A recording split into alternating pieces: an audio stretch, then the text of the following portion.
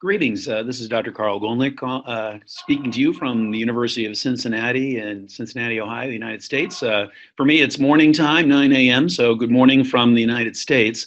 Um, this is our second web Orbis webinar uh, concerning optic neuropathies. Uh, last month, we talked about inflammatory and infectious optic neuropathies, and that webinar was recorded and should be on Cybersight uh, for you to review if you wish. Uh, thanks to many of you who submitted questions in advance of this webinar. I have uh, looked at the questions and have pulled out the ones that are relevant to the topics that we're going to cover today. There were some uh, questions relevant to the uh, webinar last month, so I would uh, ask you to look at that webinar and certainly we could try to answer the questions if you still have them, but some of the questions were explained last month. Um, additionally, there were some questions regarding specific patients uh, the best way to probably deal with those questions is for you to use the CyberSight consultation feature. So uh, anybody can go to CyberSight and post case uh, cases uh, and have them directed to the relevant subspecialist to try to help uh, get help with those cases. So um, I would I would advise for specific patients those sorts of questions. You will be able to ask questions, type in questions during the course of this webinar, and we will try to handle all of those questions at the end of the webinar. So today we're going to talk about part two of optic neuropathy, more types of optic nerve problems, ischemic, compressive, and hereditary, and I might throw in a couple of toxic and nutritional to boot. So my objectives for this webinar to uh, that when we're done, you'll be able to differentiate different forms of ischemic optic neuropathy. You'll be able to identify presenting signs and symptoms of compressive optic neuropathy, and you'll be able to describe at least two forms of hereditary optic neuropathy. So the differential diagnosis is complicated, and I'm not. I don't want you to read everything on this slide, but last time as I mentioned, we talked about inflammation, infection, and so this time we're going to concentrate on uh, the ischemic, hereditary, compressive, and talk a little bit about some miscellaneous causes. I'm going to start with this case. a 68 year old gentleman complained of blurred vision in the right eye for the past week. It was fairly sudden and painless in onset. His vision is 2060 or 618 in the right eye, normal in the left, and he has a right relative afferent pupillary defect. And so, uh, my question um, for you, given that scenario, given the appearance of those optic nerves, I'm going to maybe I'll scoot back to that for just one second, is to ask you what you think is going on um, by answering this question. I believe um, the host uh, at Orbis will um, allow this question to be asked, although I'm not entirely sure how that's going to work. Um, and the question is, is the, what is the most likely diagnosis? Is it, do you think this is ischemic, compressive, nutritional, hereditary, or inflammatory? Um, so my understanding is we're trying something a little bit different. I'm not, I'm, I'm, I'm not the one running the show with this question. Uh, that said, I don't see the question popping up anywhere or answers. So uh, I'll let the host, um, see, I'll let the host um, uh, run the show. Here we go. Um, there's the quick poll. So basically, um, the uh, you click on the. Um, uh, I believe you just click in the box um, that you think is the correct answer. I hope. So if you think it's ischemic, click in that box. Whoops, click in that box. Sorry, click in the box outside there, and I'll let the um, the host, the Orbis host, decide when we stop. I think we have in the order of 100 people here that could potentially answer, but I think uh, we can probably close the polling now and see if the results can be broadcast. Okay, so very good, thank you. So the most likely diagnosis for most of you is the correct diagnosis, ischemic. Um, a few people thought maybe compressive, maybe nutritional, maybe inflammatory, but the vast majority said this is most likely ischemic. And that is true, certainly in an older person, and I, I joke that every year old the definition of old changes. Uh, last year old was greater than 55 this year it's greater than 56 because that's how old i am. Um, next year will be greater than 57 but someone over 50 let's say uh, with sudden onset of of uh, change in vision in one eye who has optic disc swelling usually are going to have an anterior ischemic optic neuropathy. And the a just means anterior, there has to be disc swelling. So you can't make this diagnosis in a patient who has no disc swelling. One of my residents just the other day said, I'm seeing this patient, they've lost vision in one eye, uh, there's no swelling of the nerve. Maybe this is a, an anterior ischemic optic neuropathy. They said, by definition, it can't be an AION. But we think that these are blood supply problems. There may be diffuse, even hyperemic swelling of the disc, like you see in the photo in the bottom left, or there may be sectoral disc swelling. It may be pallid or pale, as you see in the superior portion of the optic disc on the right. And usually the main question is is this non arteritic, which is by far the most common scenario, non arteritic AION or NAION, the risk factors being same risk factors for heart attack and stroke in, in a sense age, hypertension, diabetes, cholesterol, hypercholesterolemia. Um, does the person have the disc at risk? So, in the bottom left pair of optic discs, you see our patient that I just presented in the bottom in that left optic disc meaning the patient's left optic disc. Uh, there is no swelling, but there's no cup. This is a, a disc at risk, a small, congested looking optic nerve. It's normal, but it's small. Um, in con- contrary to that are the two discs on the bottom right.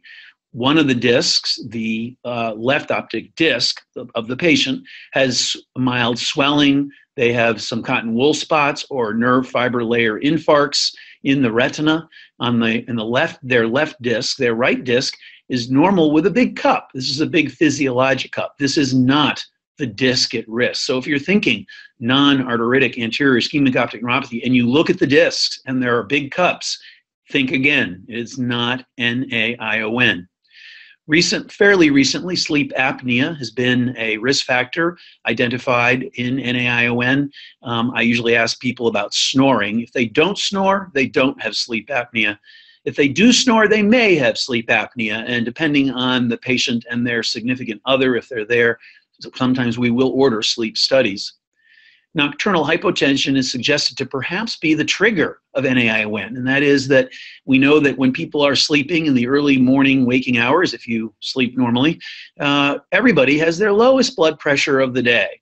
And it's thought that maybe this lower blood pressure is the trigger for NAION, which is thought to possibly be a compartment syndrome. So, uh, not just hardening of the arteries, but there's something about this tight space in this disc at risk um, and that low blood pressure in the early morning waking hours is the actual straw that breaks the camel's back, the trigger.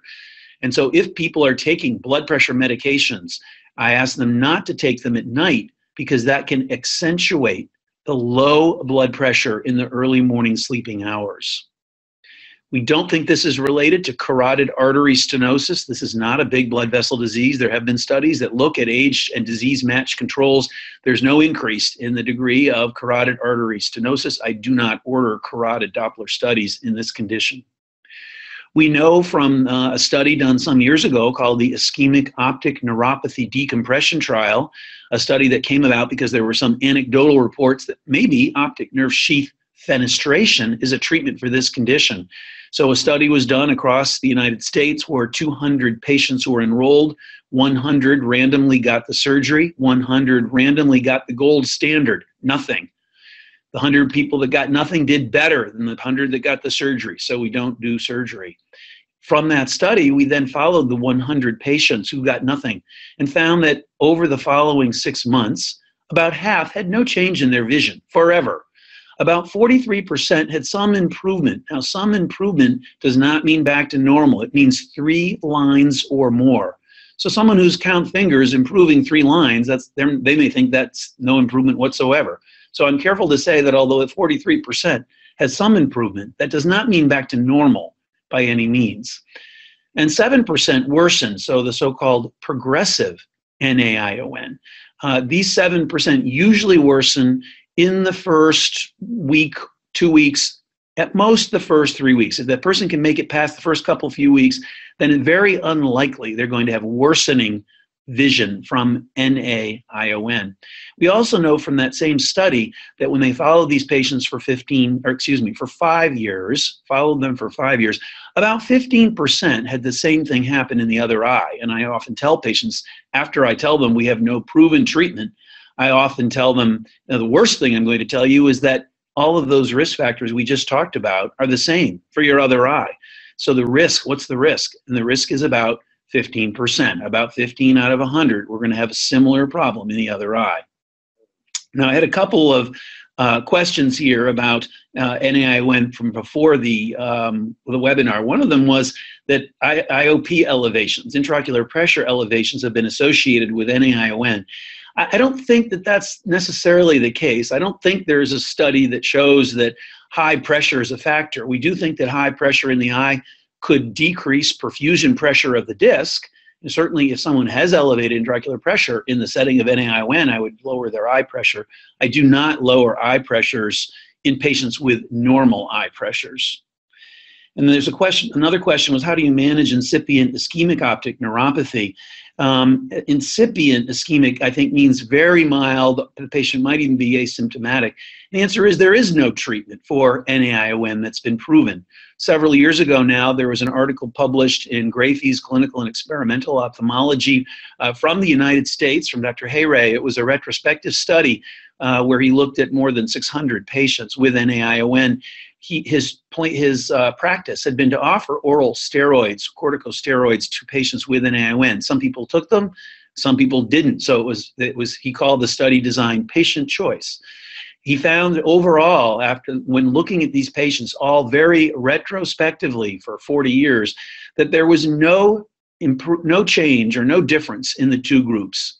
He then looked at subgroups of patients defined as poor vision at presentation, 2070 or worse, versus good vision. There was no difference in the good vision group. But in the 2070 group, there was, uh, in his study, retrospective, there was a slight improve, uh, better uh, visual outcome in the group that got the oral corticosteroids.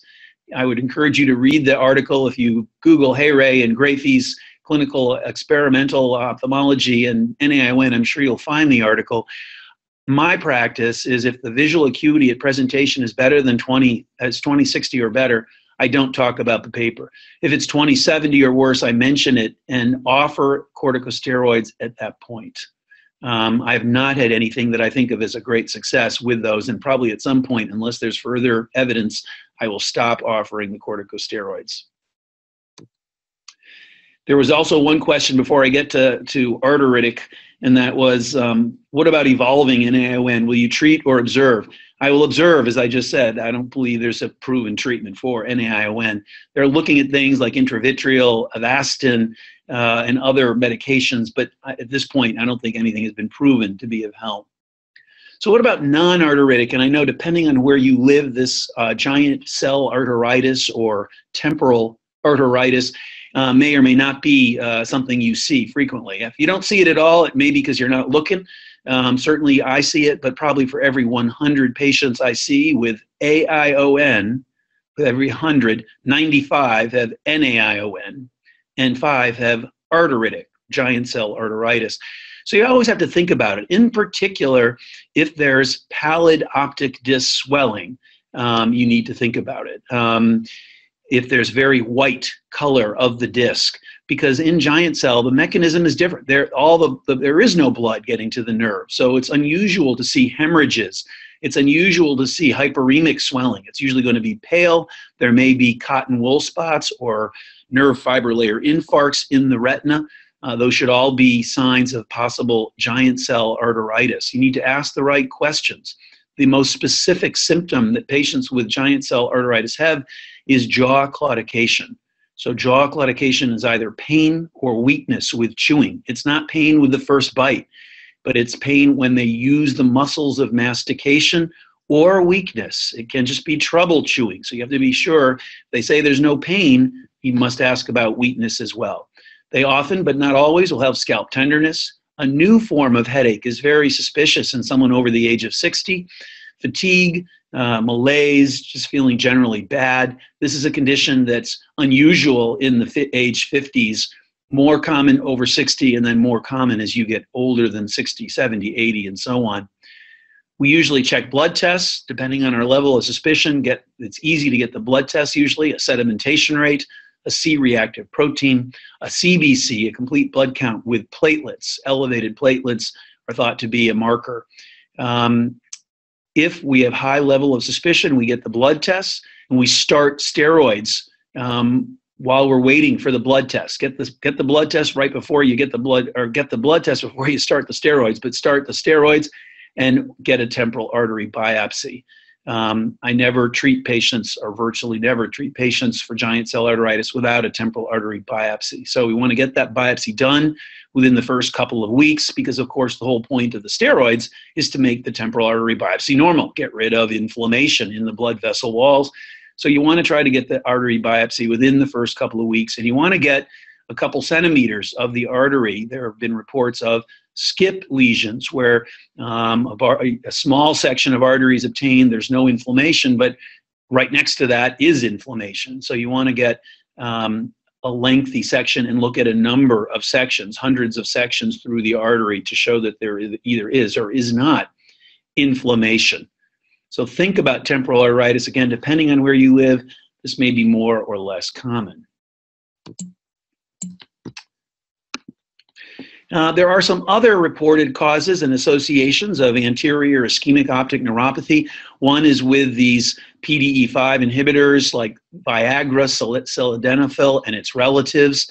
Um, the data on this now is uh, thought to be there is probably a, a, an association, and in patients who present with unilateral, in men with unilateral uh, NAION, uh, have they have the disc at risk. I do talk about the potential risk of taking these this type of medication and affecting their other eye. There's already a 15% chance of their other in, eye involvement. So we talk about the data that's out there regarding the association between the PDE5 inhibitors and uh, NAION.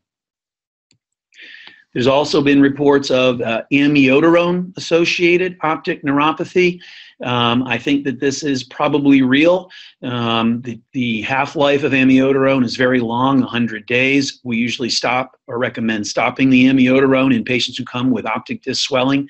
The optic disc swelling may be unilateral or bilateral. Usually, in my experience, the vision loss is not severe. Um, I, I often call the cardiologist or the family doctor, depending on who started the amiodarone. I don't like to stop other doctors' medications without checking. Uh, and it's unusual uh, to me. I, I, usually get one of two responses. One, they'll die if you stop their amiodarone. There is no other medication for them, in which case we continue the amiodarone. On the other hand, the, the most other the most common response I get is, yeah, go ahead and stop it, and they don't want to even start another drug. So I don't know why are they on it to begin with if they don't need it. But that's the probably the most common response I get is, yeah, just stop it. Let's see what happens. Um, so uh, that's the, the amiodarone story. Um, there's been one publication back more than 13 years ago where they even um, uh, that where they try to differentiate amiodarone-induced optic neuropathy uh, from non-arteritic anterior ischemic optic neuropathy. And you can see that in general, the vision loss isn't quite as bad. It can la- the disc swelling can last for months and months. Again, the half-life of amiodarone is 100 days. Um, and so it's often uh, bilateral, and those are some of the main differences.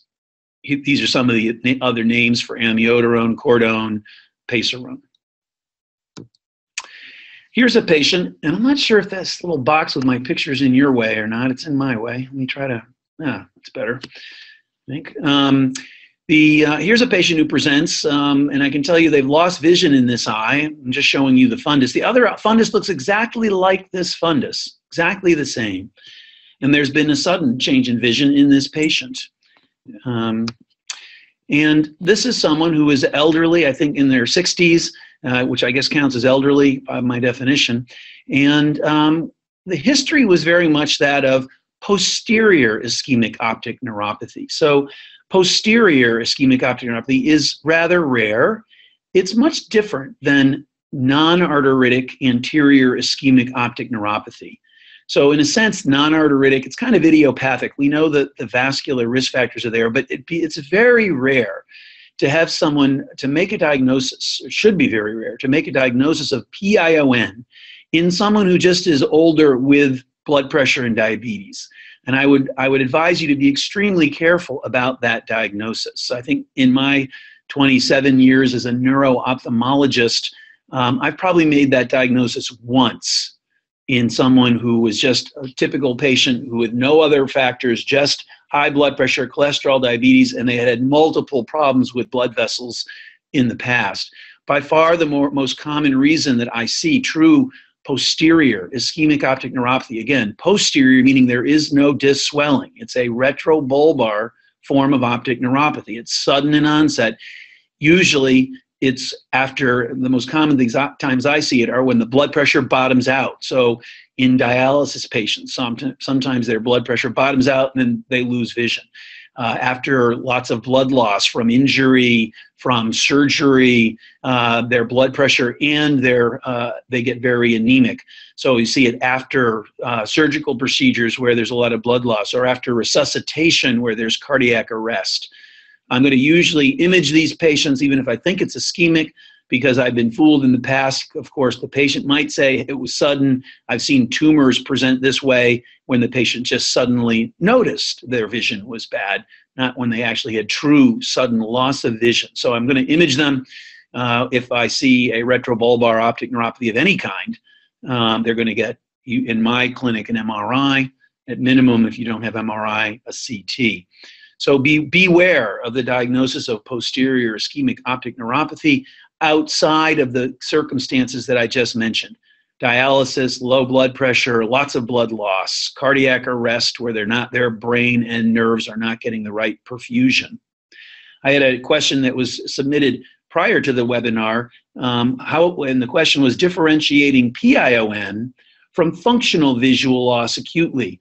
And uh, will it, there be a relative afferent pupillary defect? So certainly in functional vision loss, and I, I prefer the term non-organic vision loss, sometimes to use faking, malingering, functional, but in, in non-organic vision loss, of course, there will be no relative afferent pupillary defect. In the setting of posterior ischemic optic neuropathy, if it's unilateral or if it's asymmetric, there will always be a relative afferent pupillary defect. If it's unilateral or if it's asymmetric, just like any optic neuropathy that's unilateral or asymmetric, there's going to be relative afferent pupillary defect. So, to say just a little bit more about perioperative visual loss, because this is something we see, this is something that clearly generates lawsuits, um, and I'm an expert witness every so often for, this type of a problem. But here's a 41 year old gentleman had a motor vehicle accident. He had a very he had a back injury, very prolonged low back surgery to, le- to relieve spinal cord compression, and he woke up and he couldn't see. He was NLPOU. His pupils were amaurotic, which means they didn't react to light. Otherwise, his exam was completely normal. There was no relative afferent pupillary defect because he had a bilateral, symmetric, complete optic neuropathy. So neither pupil reacted. He had posterior, bilateral, posterior ischemic optic neuropathy because during the surgery, which was prolonged, he lost a lot of blood. They had to resuscitate him once because his heart stopped and he had unfortunately permanent bilateral vision loss from bilateral P-I-O-N. Here's another patient, a young guy who had low back surgery, uncomplicated, but it took nine hours. He did not have to be resuscitated. They kept his blood pressure on purpose in the low range, and he tended to run a higher blood pressure um, in his usual state. He did require some a transfusion with red blood cells, um, and he woke up with 20/20 vision, but a change in vision in his left eye and a left relative afferent pupillary defect with this inferior field defect and superior optic swelling, looking very much like a non-arteritic anterior ischemic optic neuropathy. Of course, in a 26-year-old, we typically would not consider the diagnosis, but he had undergone a nine-hour surgery with lots of blood loss and uh, low, relatively low blood pressure. So we think that this is a form of anterior ischemic optic neuropathy related to perfusion problems of his optic nerve.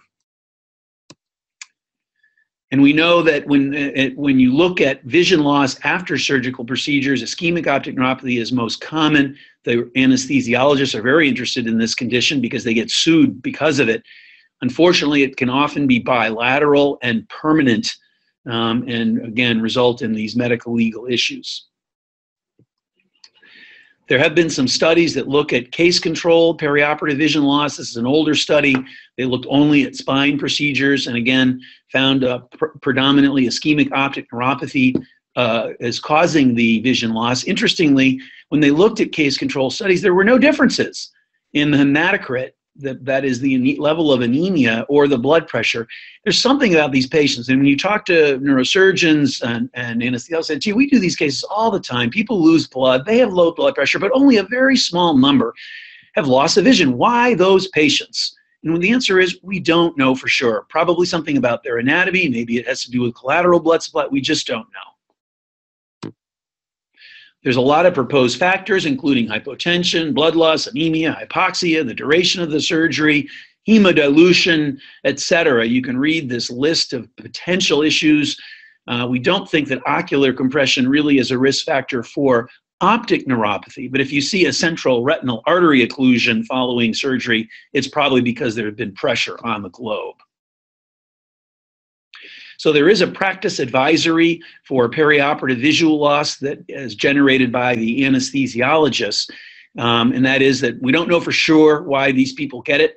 Likely there are multiple factors, but there is a high risk patient, quote unquote, who has prolonged prone spine surgery with made plus or minus substantial blood loss. So be careful, at least in the US, uh, anesthesiologists now consent patients uh, when they have them sign the operative consent for possible but unlikely visual loss after prolonged back surgery. All right, so I'm going to move on now uh, to another case, and this is um, a, a, patient, not the best fundus photograph, I apologize, but a patient with, I'm going to try to move this thing over here. I don't know if that's, I can see this little box that's hiding my slides.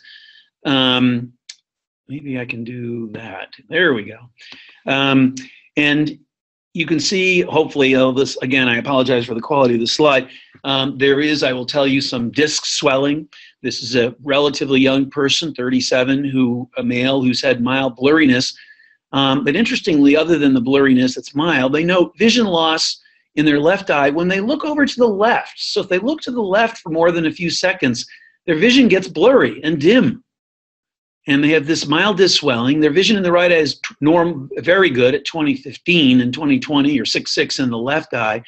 They see all the color plates with the right eye, but miss half of them or so with the left. And there is a left relative afferent pupillary defect. So this has been going on for some time, at least weeks or maybe months. The person's not sure. Um, and you can see um, the mild swelling. So my question is the same question I asked before. So we'll bring up the, the poll if our Orbis host can introduce that. And the question is, what do you think the most likely diagnosis in this patient? Is this ischemic? Is this compressive, nutritional, hereditary, or inflammatory? And I will give you um, um, a few more seconds to vote. 37 year old vision law or visual change although their central vision is pretty good. And it, the interesting symptom of worse or vision worsening as they look to the left. So that's a fairly unusual story. And we'll see if we can broadcast. Okay, so we have a little bit more of a mixed bag here. We have the majority by a slight margin are saying compressive. Um, we have some votes for inflammatory and then some for ischemic. Okay, we can close that poll. Thank you. So let's look and see. So here's our patient. Here's their problem. Um, so they have a tumor, a benign tumor in their orbital apex, and they have this, uh, what's been described as gaze evoked amaurosis. That is, looking in a direction and vision getting worse, presumably because as they do that, their optic nerve gets stretched across an orbital apical tumor. And as they're looking in that in that gaze, there that optic nerve is being compressed. Maybe it's not getting the right blood supply. But basically this is the symptom. You won't hear it much of a uh, compressive optic neuropathy. I think the reason that this the, the best answer probably is compressive. It's a 37 year old they've noted blurriness for some time. But the gaze evoked thing really brings out the the compressive. And i, I don't want to make it sound like that's a common symptom you're going to hear with compressive. But if you hear it it's probably an orbital lesion and again, there was swelling of the disc. We'll talk about that uh, related to compressive optic neuropathy. So the historical points are usually it's gradual. Beware sudden awareness, as I mentioned previously. But usually the history, anytime someone says, you know, my vision's been getting blurry, it's gotten a bit worse over the last few weeks or months. I'm thinking not ischemic, not inflammatory. I'm thinking, uh oh, could be compressive. Interestingly, it's usually painless. And patients, when I call them and to tell them, yep, it's a tumor, are, gee, I, there's no pain. I'm surprised. Usually, compressive lesions are painless. And there are often no associated symptoms at all. And people are surprised, oh, I have no other problems, just this vision thing. Well, that certainly can be compatible with compressive optic neuropathy.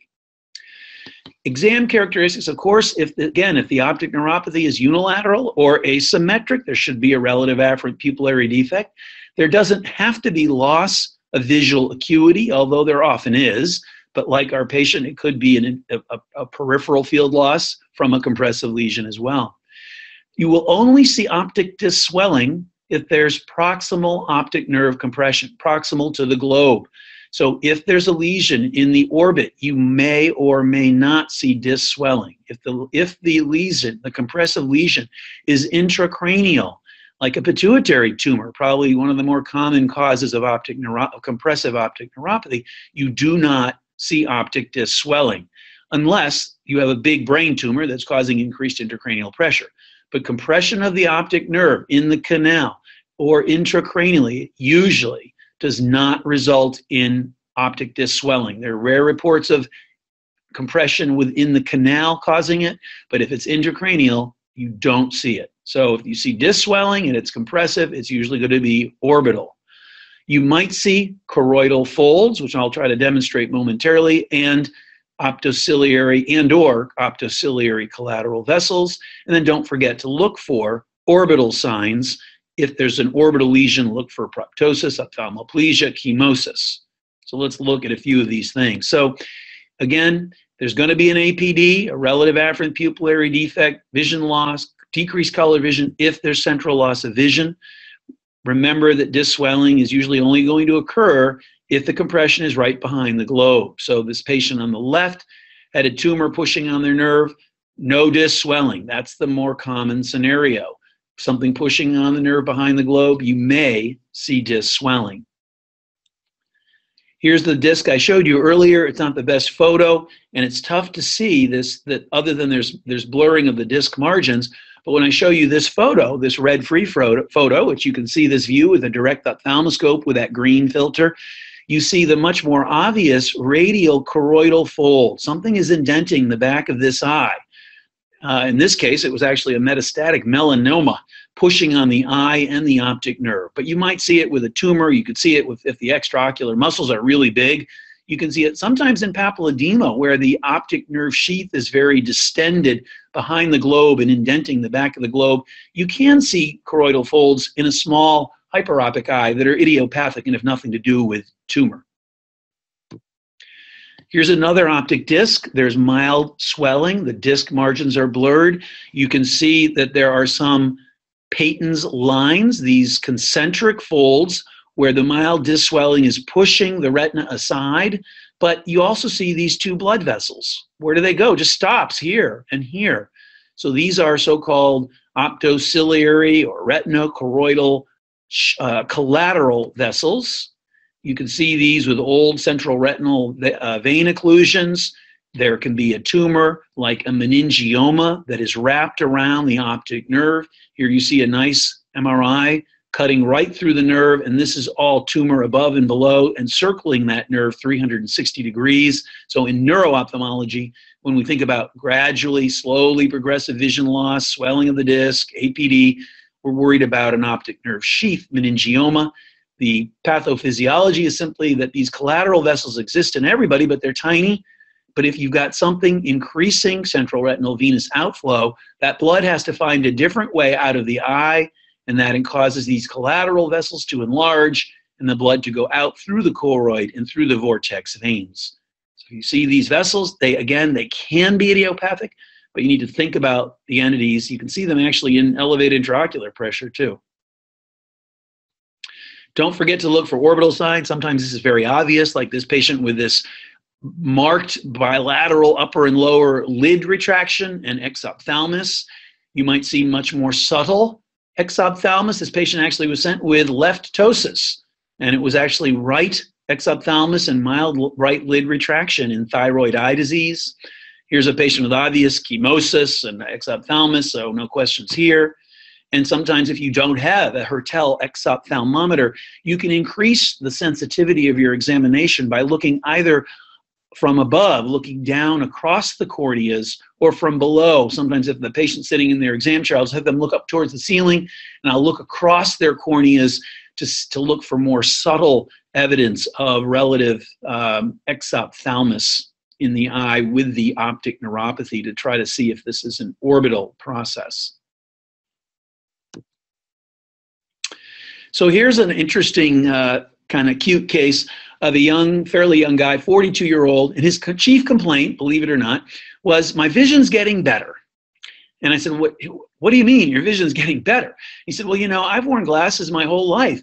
Uh, but, you know, my left eye in the last few months, I don't need my glasses. In fact, I can take my glasses off and see great in my left eye. My right eye is just the same as it's always been. With the glasses on, I'm good. And here he is, better than 2020 or 6.6 with his current correction in the right eye of minus 2.25. However, in the left eye, which was minus 2.25, he is now plano. And the problem, of course, is that the referring doc, the doc that referred him to me, found that there was a small left relative afferent pupillary defect.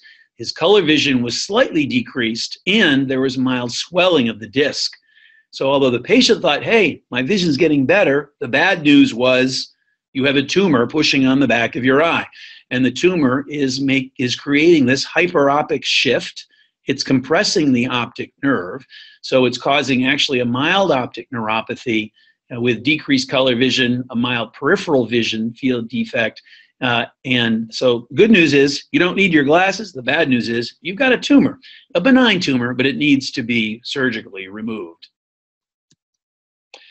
So I want to just talk about a few pitfalls in, in diagnosing compressive optic neuropathy. And the three pitfalls that you should not, uh, uh, that you should try to avoid are no contrast given on your imaging study, no fat suppression if it's an MRI, and the scan, remember, it's only as good as whoever the radiologist is or as good as you are. So let's look at some examples. So here's a patient, a young guy with an optic neuropathy. It's been going on for a few weeks.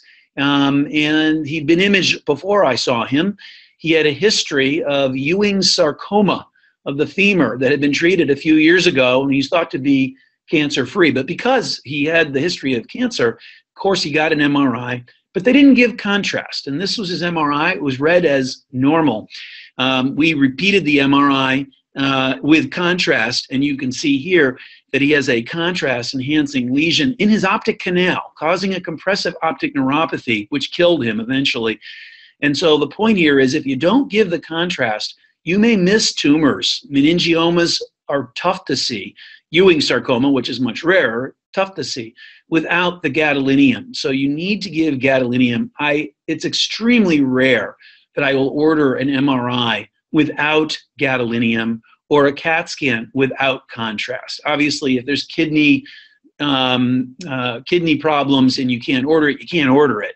But I always order contrast, or you'll be worried you may be missing something. And frankly, if you find something without contrast, what the MR, the radiologist is going to say, please repeat with contrast so we can better define the problem.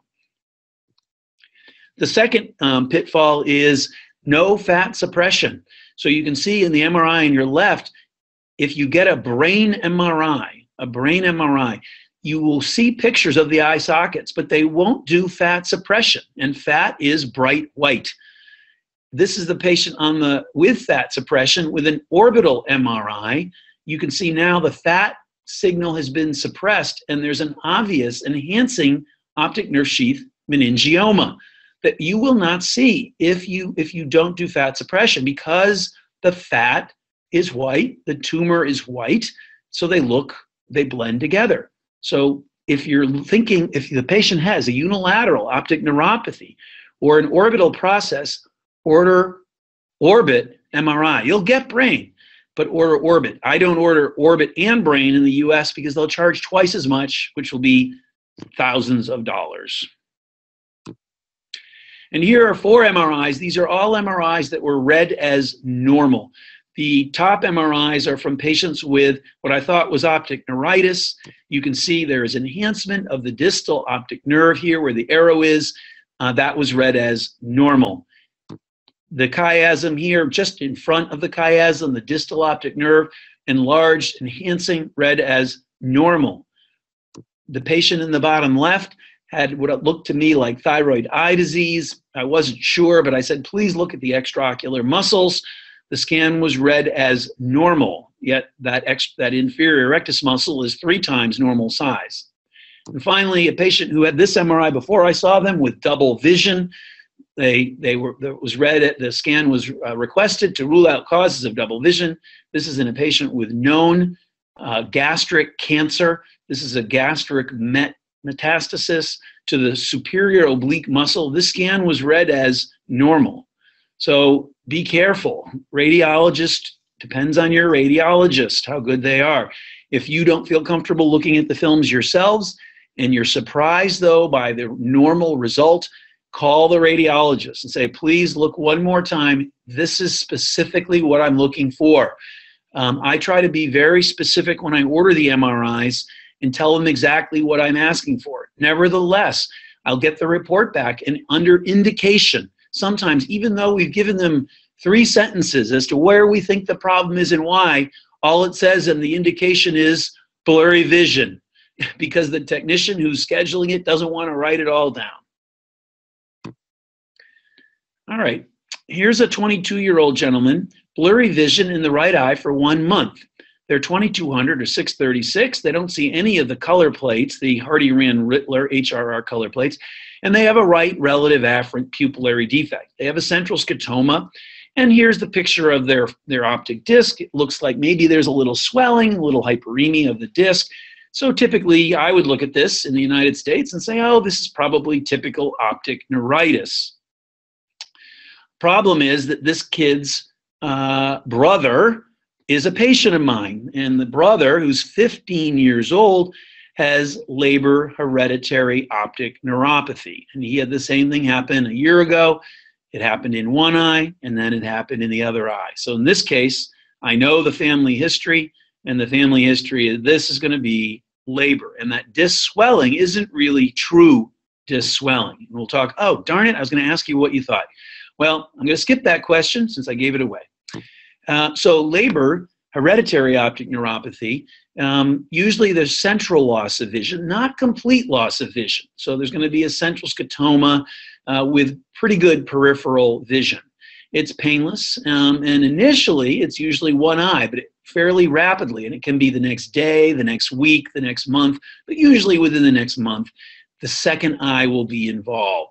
It's going to look like optic neuritis initially, young healthy person, loss of vision, possibly what appears to be slight swelling of the disc, um, most commonly in men in the 10 to 30 year range, but it's been reported in uh, more than age up to 65. It's reported in two year old up to 80 something.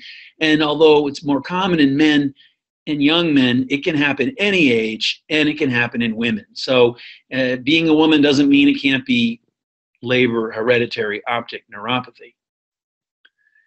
Uh, as I mentioned, the second eye is involved usually weeks to months, rarely a much longer interval, been reported up to eight years. The vision loss is usually permanent, although uh, depending on what mutation you have, there is a percent chance of improvement spontaneously, even a year later. The fundus appearance might show what looks like mild disc swelling, but there will be no fluorescein dye leakage on, on fundus uh, uh, fundus fluorescein angiography, as is shown in these photos stolen from this website. Most commonly, the mitochondrial DNA mutation is at the 11778 position, but there are the other two common, uh, relatively common point mutations are 3460 and 14484. For reasons that are totally unclear, we don't, we, uh, uh to us, the 14484 mutation, if you're going to have one of these, is the one to have with spontaneous improvement in vision up to two out of three patients. Unfortunately, the 11778 is by far the most common identified mutation with a much lower chance of improvement. And as you know, uh, this is a mitochondrial problem. Uh, it is transmitted from um, met from women to kids because there's one mitochondria in the sperm and millions in the egg. So this is not transmitted from the fathers, only from affected um, mothers to kids. There is no proven treatment. There are some trials going on. Recently, there was one using idebenone, uh, which is available uh, over the counter in, uh, in, the United States on Amazon.com. Um, this study um, was done in England. It looked at this medication uh, and found no statistically significant improvement, although there were some trends. There are definitely a bunch of, uh, or at least a few experimental um, compounds, uh, drugs out there that are being used that I'm told by friends who are using them have some promise. Uh, there is um, uh, a trial going on at Bascom Palmer uh, Eye Institute in Miami, United States, uh, Miami, Florida, United States, uh, where they're recruiting patients who've lost vision in one eye from Leber's, um, who are then, of course, theoretically going to lose vision in the other eye to, to look at, to, to do things genetically. That's very fledgling sort of status. So no proven treatment, as I mentioned. Um, this is some of the data from the study, so I'm not going to belabor this um, regarding the treatment of Leber hereditary optic neuropathy. At the moment, um, no proven treatment. And then the other hereditary optic neuropathy that we see, also no proven treatment, is dominant optic atrophy. So dominant meaning that it's it's uh, a dominant gene. So um, one of the parents should have it, and each child has a 50% chance of having the condition. Um, this is usually detected in asymptomatic children. So in the United States, um, kids usually have a screening uh, visual study before going to school at the age of five or six, and they're found to be in the 20, 30, 40 range, so 6, uh, 12 range. Uh, the kid doesn't know their vision's not bad. That's just the way it's always been. They're not complaining. Uh, they get sent for glasses. The glasses don't don't help, and then usually you'll see some temporal relative temporal pallor of both optic discs. The color vision usually will be decreased. The parents may or may not say they have a problem. I usually check the color vision in the parents if they're both there.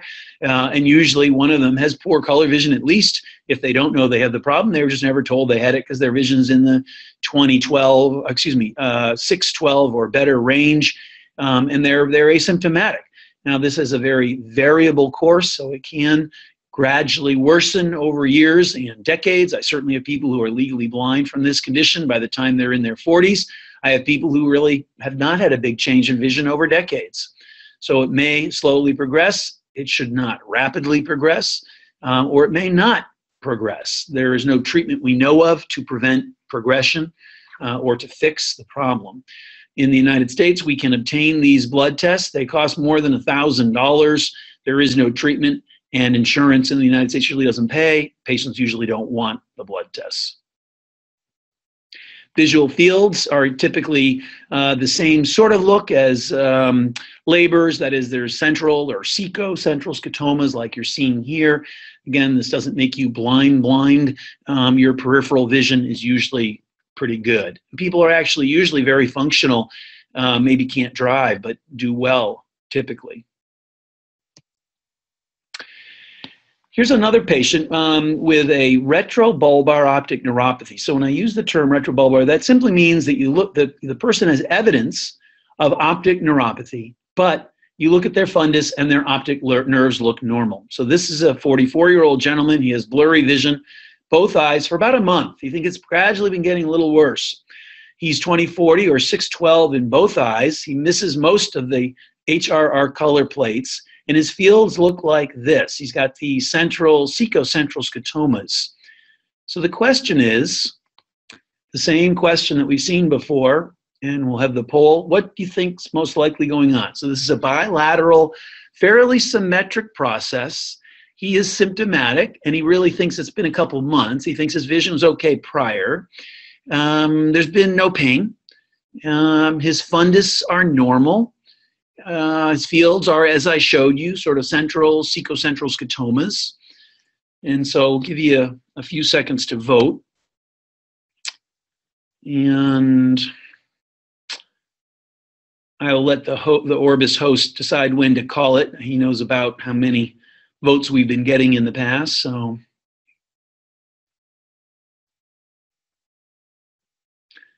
let's take a look at what people think. All right, so the majority of you have the correct answer. This is probably nutritional, probably not ischemic or inflammatory. Why not? Well, those are typically sudden onset. This is sort of gradual and getting worse. Hereditary, well, it possibly could be. I mean, this could potentially be Leber hereditary optic neuropathy. You don't have to see what looks like disswelling or pseudo disswelling. He's 44, a little older it's bilateral and symmetric. It, it potentially it's in the list. Um, compressive, yeah, this could be compressive. Um, they would have to be very symmetric, bilateral. So we're not thinking about bilateral orbital process. It could be some intracranial process, com- eh, symmetrically compressing both up. Yeah, pretty rare. And honestly, I've never seen a compressive lesion cause the cecocentral scotoma. So nutritional makes a lot of sense. Let's we can close out that um, and let's move on. So nutritional optic neuropathy is usually gradual, bilateral, painless vision loss, often in alcoholics in the United States who drink all their calories. So the question when you ask them if they drink and they say, yeah, one glass a day, well, ask them how big the glass is. Um, so how many, you know, what does that mean? And so, I mean, it's not uncommon for me to have someone say, oh, I have I drink. I say, what do you like to drink? Oh, gin. How much? Oh, you know, a quart a day. And that's not uncommon. And the general rule of thumb is double whatever they tell you. But if you drink that much, you're probably not eating a lot of food and getting the right nutrition. Um, so they often have central or central scotomas. Their disc may be normal. Uh, ultimately, of course, and unfortunately, they become atrophic and then it's permanent. We look for these patients uh, vitamin B12 folic acid, serum folic acid, red blood cell folate, uh, thiamine or B1, and if the person has a history of gastric bypass surgery for weight loss, um, and it's important to get that history um, because people with gastric bypass surgery often have poor uh, nutritional absorption. Um, they also, I will also check a copper level. So copper deficiency optic neuropathy is relatively recently described. I've seen a couple cases. I only check copper, at least in the United States, in patients who've had gastric bypass surgery. But red blood cell folate is um, kind of like a hemoglobin A1C. Hemoglobin A1C in diabetics is kind of a measure of chronic your chronic blood sugar level, blood glucose level. So is red blood cell folate for folate. So if the person goes to the doctor in the morning and decides, I'm going to have a good breakfast this morning, their serum folate may be normal. And in a paper that we wrote some years ago now on folate deficiency optic neuropathy, we reported six patients, three of whom had low serum and red blood cell folate levels, but the other three had normal serum folate and low red blood cell folate levels and they all improved with folate supplementation in their diets.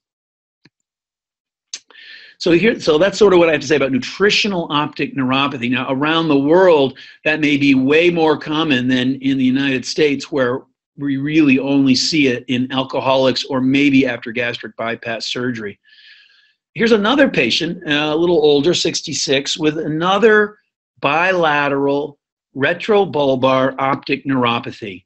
Their visual acuity is down some, 2040 or 612 OU. Color vision also down. Their fields look like this. And because of this visual field defect, which looks kind of bitemporal, they'd already had an MRI. And the MRI was said to be normal. I looked at the MRI, it looked normal.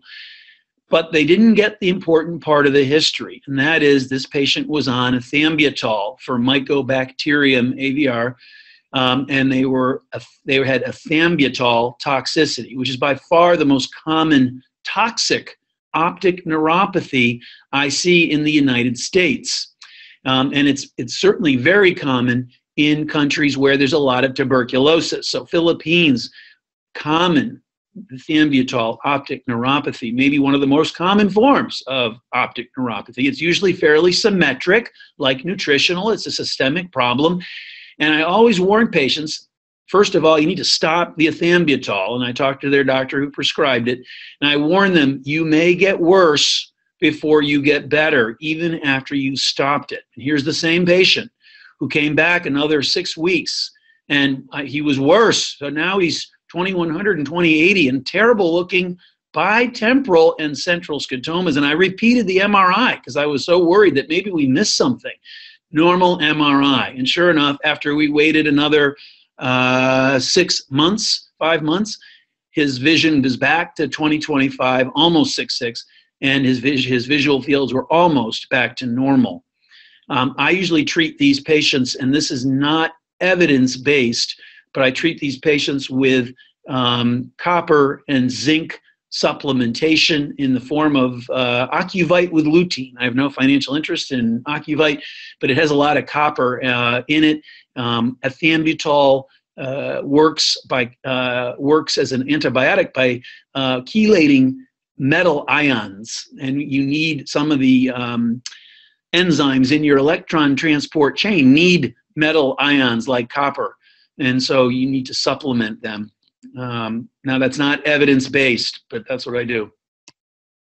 So, ethambutol, optic neuropathy, common form in the United States, by far most common form, toxic optic neuropathy. So, in summary, for this webinar, ischemic optic neuropathy is usually sudden, painless, and the disc is usually swollen. And it's usually in the US non arteritic anterior ischemic optic neuropathy. Posterior ischemic optic neuropathy, sudden loss of vision in an older person, disc is normal, is rare outside of dialysis hypotension surgery. Some obvious recent bad low blood pressure, blood loss, something like that, hyper, hypoperfusion. Compressive optic neuropathy is usually painless. Make sure you get the correct imaging like we described. Leber's hereditary optic neuropathy may mimic optic neuritis, but it'll it, the clue will be the other eye is affected within a short order. Nutritional toxic optic neuropathy should be suggested if you take a good history. So that's my summary. Now, I there were some questions I'm not going to go th- into right now. I'm going to have some other questions. I think that I think our Orbis host will be able to bring up the questions that have been typed in on the screen. I believe. Um, I'm thinking for our next webinar. I don't think it's been advertised, but I think for our next webinar, I'm going to probably try to cover papilledema because we haven't talked about papilledema. And then um, it'll be sort of a papilledema webinar, but I'm going to throw in a, uh, a, a 15, 20 minutes on differentiating glaucomatous optic neuropathy from neurologic optic neuropathy. Um, I think maybe I click on the question and answer thing up here. Yes. Okay. Um, all right, so let's start. I'm going to start with the first question here, which was, um, uh, well, not sure it's a question. And it just says NA, NAION slash GCA. Um, and that's not really a question. Um, what are the routine investigations you advise in AION?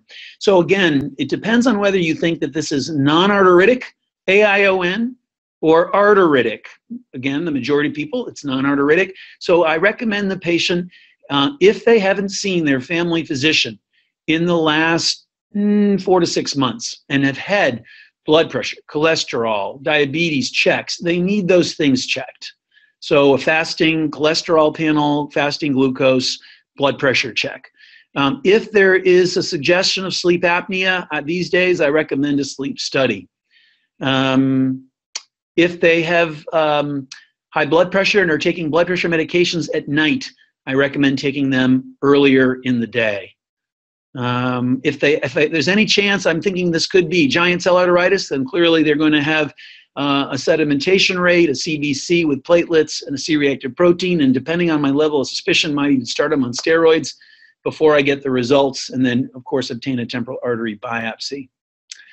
Um, uh, how, what, the next question is how to differentiate between retrobulbar optic neuropathy and um, posterior ischemic optic neuropathy. So, posterior ischemic optic neuropathy early on is a form of retrobulbar optic neuropathy. Oh, oh, maybe that. I'm sorry. Maybe that should be retrobulbar neuritis.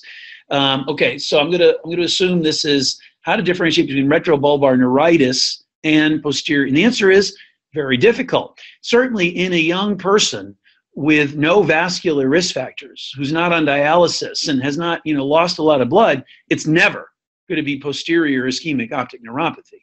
um, it's always going to be pretty much, it's going to be retrobulbar optic neuritis, although I'm going to get an, an, imaging study to make sure it's not a tumor pushing on their nerve.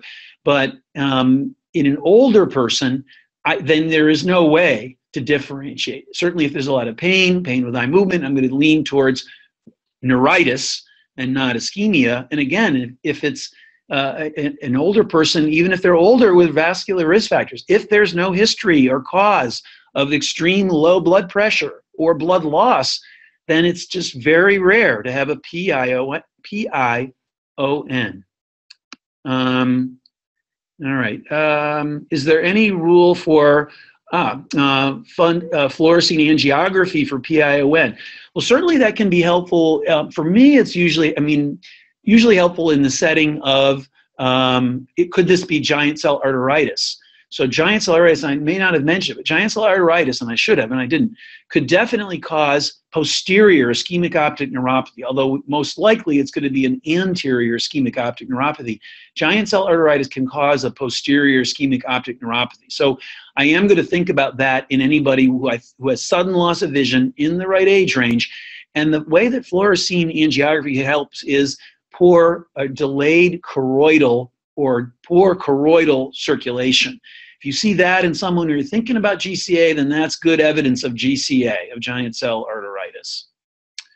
Um, question, what is definitive diagnosis of PION? There, there probably is no definitive diagnosis of PION. It is going to be, there's no test.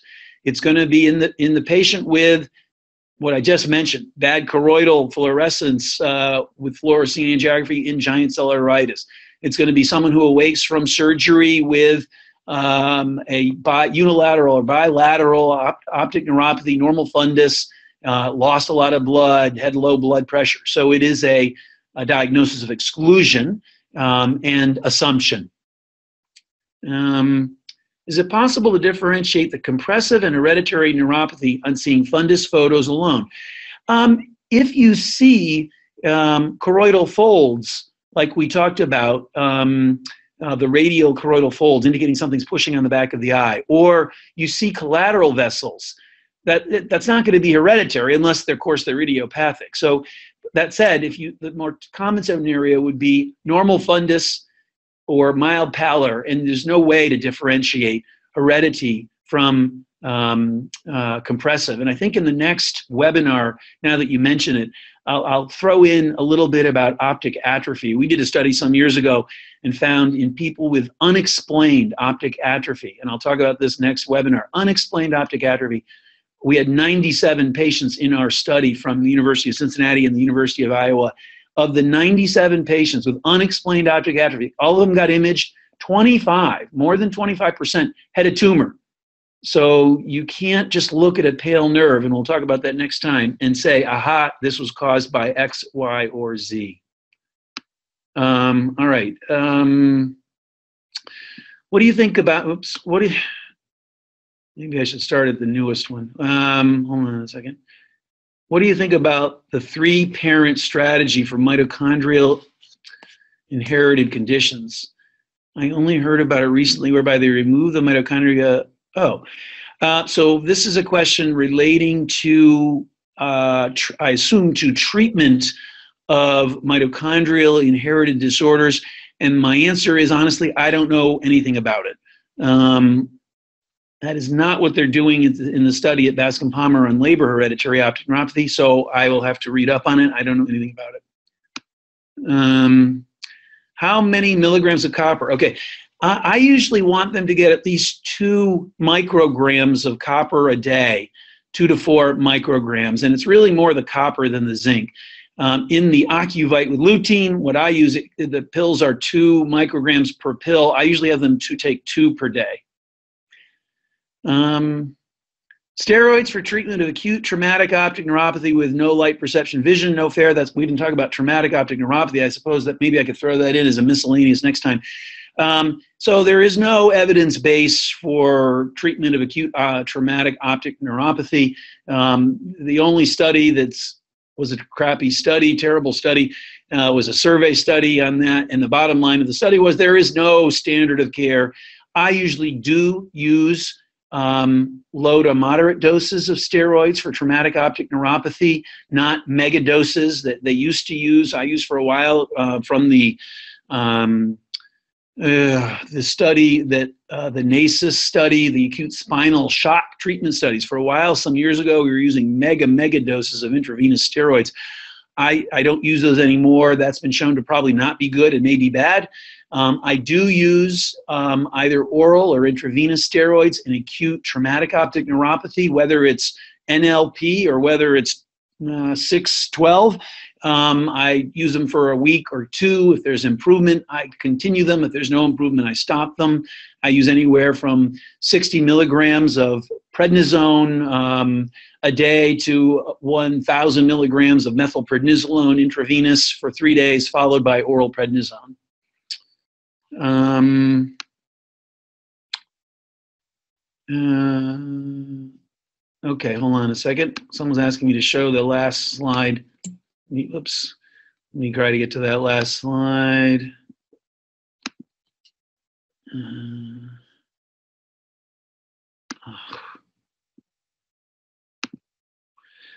And let me move those questions out of the way if I can. I'm not sure if the questions are covering your slide or just mine. Um, all right. Uh, is it possible for NI? Is it possible for NaION for patients who had postpartum hemorrhage? Sure. I mean, you, you can have an NaION, you could have a PION. If you lose enough blood from whatever reason, you can have an, a, an, either an anterior ischemic optic neuropathy or a posterior ischemic optic neuropathy. Uh, what is your overall experience with the ethambutol induced optic neuropathy? So, overall, my experience is that people usually have good recovery of vision. Now, um, I think it, it, depends, of course, on how, in a sense, on how bad their initial vision is. So, in general, having better vision at diagnosis bodes is a, is a good prognostic sign for recovery the only patient I can remember who didn't have pretty good, and when I say pretty good recovery, I mean in the 6'6 to 6'12 range, is a plastic surgeon who was being treated for um, tuberculous renal failure. And they misdosed him.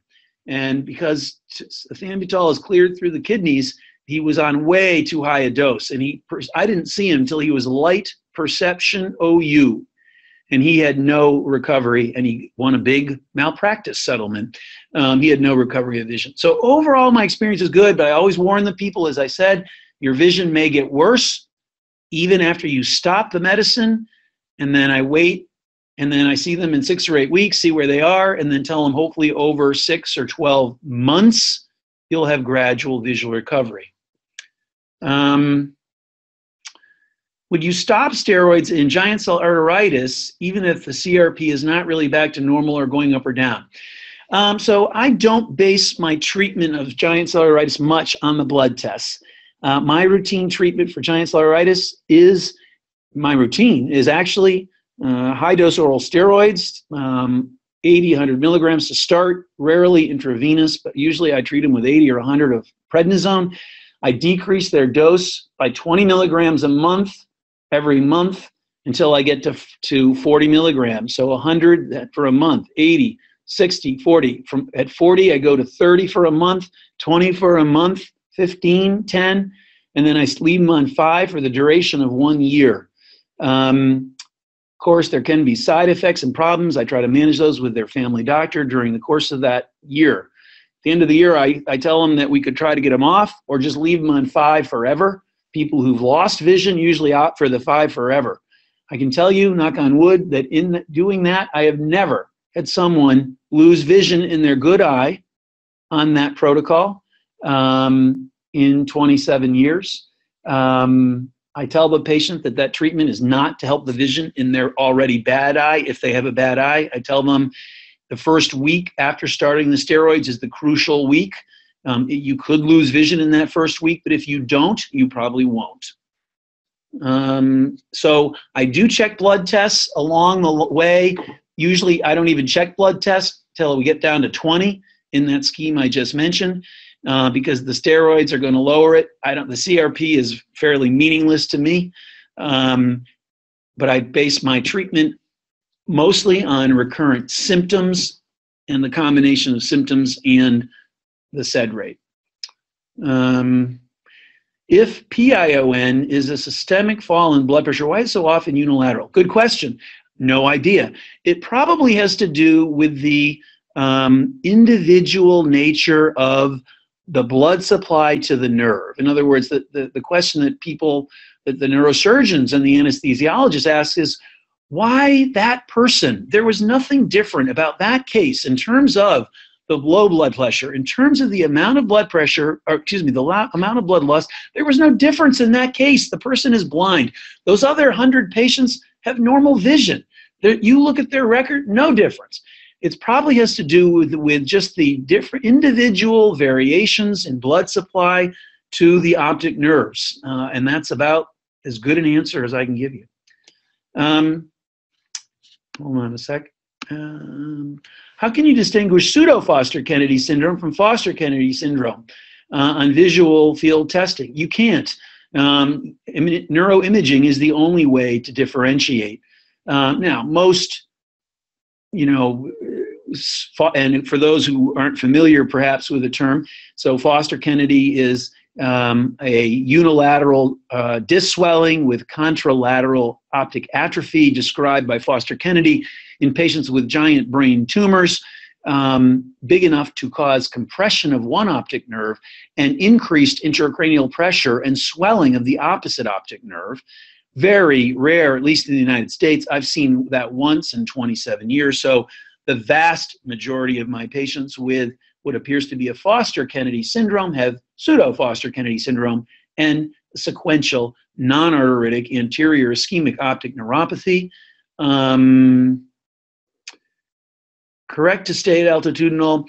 Yeah, I mean, I think, uh, uh, well, Seco, central central will still be unlikely, I think, in pseudo Foster Kennedy. I mean, you're going to just have crappy looking visual fields in the eye with optic atrophy. It's not going to be cecocentral. I've never seen a compressive lesion cause a cecocentral scotoma. Um, and you're right, um, altitudinal is more likely going to be NAION. I don't think it's proof. It might make me feel a little better if I don't have any imaging. But remember, a pseudo Foster, a Foster Kennedy syndrome, I mean, it's going to, if it's a true Foster Kennedy, it's going to be a big tumor. I mean, even a non contrast CT is going to show you that. So if you can't get a non-contrast CT, I guess that's a problem. But yeah, I mean, I feel a bit better if you can't get imaging and it's you know the guy the person has bilateral altitudinal defects. Um, that would make me feel better, but I don't think it rules it out absolutely. I've seen tumors cause altitudinal field defects. Um, is there any connection between PT, APT, and INR patient with anyone? Not that I know of. Any benefit to start on anticoagulation treatment?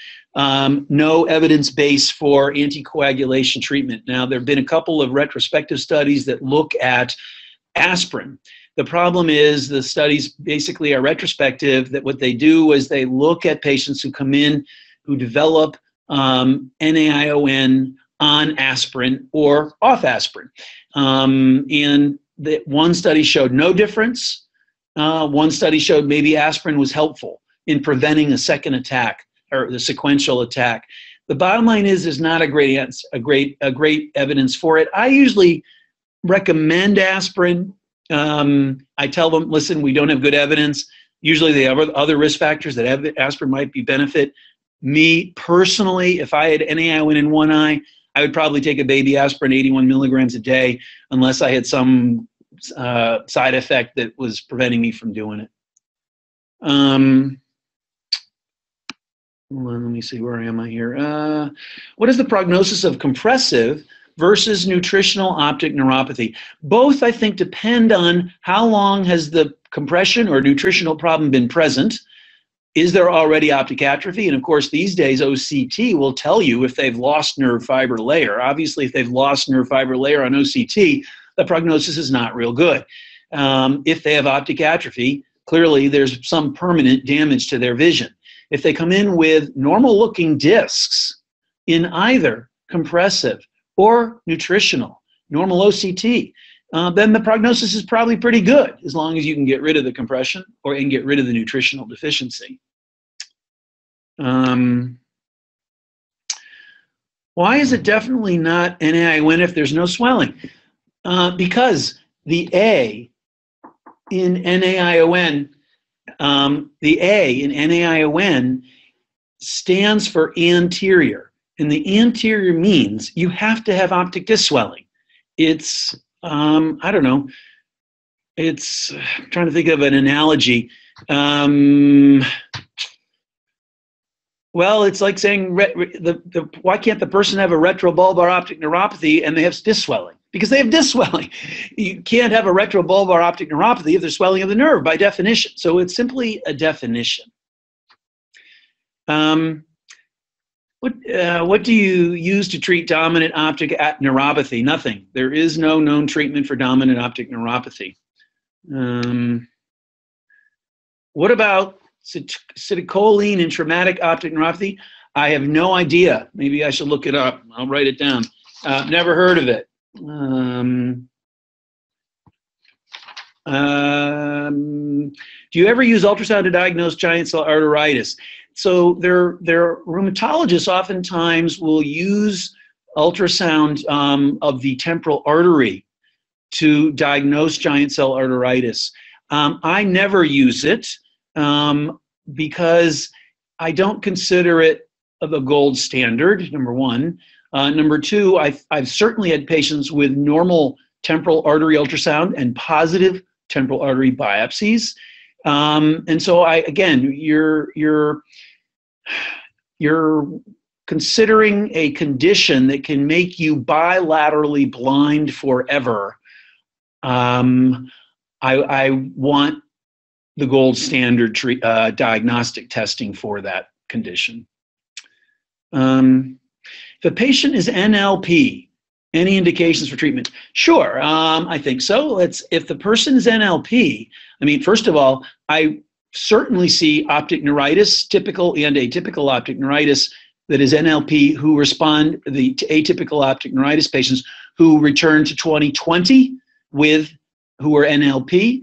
Um, I've seen neuromyelitis optica after plasmapheresis return to 2020 from NLP. Um, we've reported thyroid compressive optic neuropathy, NLP, with recovery of vision when the compression is removed.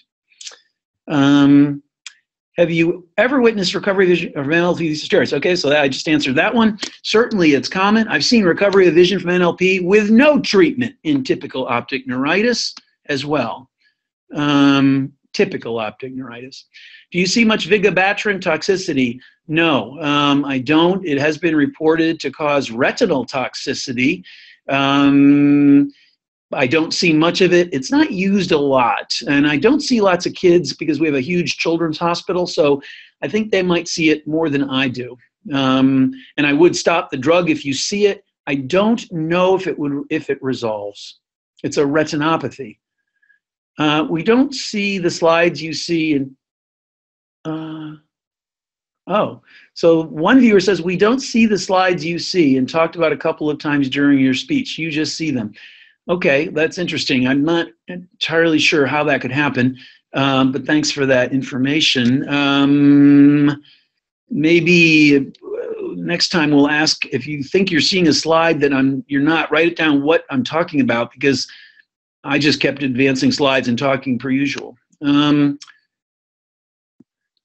we do recommend ethambutol. We do oh recommends ethambutol. do we recommend ethambutol after vision recovers? No. Um, high dose of vitamin B in toxic optic neuropathy. Um, in toxic, I don't use high doses of uh, vitamin B in toxic optic neuropathy. I use high doses of vitamin B12 in B12 deficiency optic neuropathy. Um, older TB patients do not recover vision, vision better than number. Uh, younger. Um, you know, I don't have that experience. The patients that I've seen, and again, I'm, I'm not sure if you're talking about tuberculous optic neuropathy, infectious optic neuropathy, I have never seen a case of tuberculous optic neuropathy in the United States. Um, and I, do, I have really no experience. I've seen it in India and other countries, but I don't have a chance to follow those patients. If you're talking about older tuberculosis patients who take ethambutol and have ethambutol optic neuropathy, I have seen older patients recover vision. I have not found there to be any difference in recovery if it's an ethambutol optic neuropathy. I don't know the answer if it's tuberculous actual infective optic neuropathy. Um, would you use only steroids and GCA? So certainly acutely, I would only use steroids and GCA. The time that I would use other medications, say um, methotrexate, something like that, uh, would be if the patient were trying to t- taper the steroids, like we, like I discussed, and we're coming down, but we can't get lower than say 20 milligrams of prednisone or 15 milligrams of prednisone. Every time we get lower, they have recurrent symptoms, or the and or the blood tests go way up. Then that would be the time I would consider adding a steroid-sparing agent. I would I usually work with a rheumatologist when I do that. I don't prescribe it myself. And once the rheumatologist tells me that the the, the immunosuppressive agent seems is should be working, then we try again to taper the prednisone or the steroids. Is there a role for idebenone in Leber's? So there's a study that's looked at that, as I mentioned. The study did not show a statistic, statistically significant benefit to using it. There was a trend, they like to say, but it did not show statistically significant change. Will MRI show signal in PION? Interesting question. It might. Um, I have actually reviewing a case for publication from a from a uh, journal where they've shown uh, they have an MRI done with diffusion weighted imaging, which is great for looking at ischemic brain. And they study, and there have been other reports of ischemic optic neuropathy being identified on MRI if you use diffusion weighted imaging. um, let's see. Somazina is citicoline, and some advocate it for AION. I'll have to look it up. Never heard of it. Uh, Somazina. I'm write it down. Um, I don't know. I, would be shocked if there's any good data since I routinely talk to people around the world and they, no one's ever mentioned it to me. Um, I'm in Berlin, Germany. I have no problem seeing the slides or hearing your voice. Good. uh, yeah, I don't I don't know why a slide would sh- not show for an individual. I, I, it might be that they were just mistaken about the slide and that maybe I was talking about something that didn't seem right or something. Um, how to differentiate between normal tension glaucoma and optic neuropathy. Okay, tune in next time. I'm going to include that in my next neuro-ophthalmology webinar. Um, and we'll we'll we'll do a potpourri. I'm going to do we'll, we'll do papilledema, We'll do is it glaucoma or is it neurologic?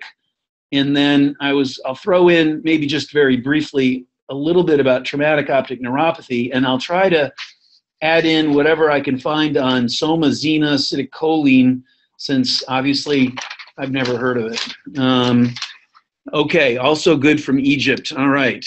Um, that is the end of the questions. So uh, I think I will stop there. Um, hopefully, um, there were some uh, good information for people, and I look forward. I don't know. I don't think we've scheduled for sure the next neuro ophthalmology Orbit, Orbis webinar, um, but um, um, I appreciate it. Hopefully, we'll see some of you. We'll be in uh, Singapore at the Asian Pacific Academy meeting in February, and I'll be elsewhere around the world the rest of the year. So look forward to seeing and hearing from you. Oh, I have one more about traumatic optic neuropathy. I want to know what is your approach? Pulse. Uh, so I, again, with traumatic, we'll talk more about it next time. But I usually, if they're if they're an inpatient and um, are going to be in the hospital anyway, I use uh, one gram of, of, intra, of methylprednisolone a day for a few days, and then oral prednisone, 60 to 80 milligrams of prednisone for a couple of weeks, see if they're improving. If there's some improvement, then I gradually taper. If there's no improvement, I rapidly taper. Okay, I'm going to sign off. Thanks for everybody for tuning in. Um, have a great uh, day and Happy New Year's.